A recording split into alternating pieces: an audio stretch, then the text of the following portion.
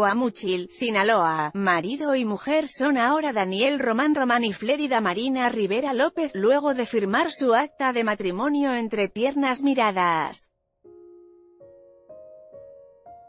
Sus testigos fueron, de la novia, Edith Guadalupe Olivas López y Elizabeth Lozoya Inzunza, y del novio, Saúl Fernando Rivera López e Israel Lozoya Inzunza.